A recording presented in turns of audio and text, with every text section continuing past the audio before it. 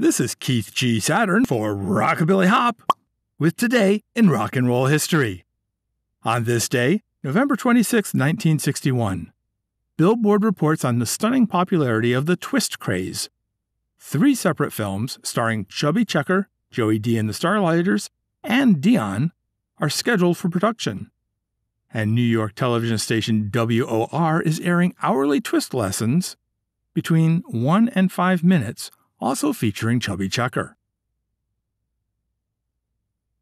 For more rock and roll history, like, share, follow, comment, and subscribe.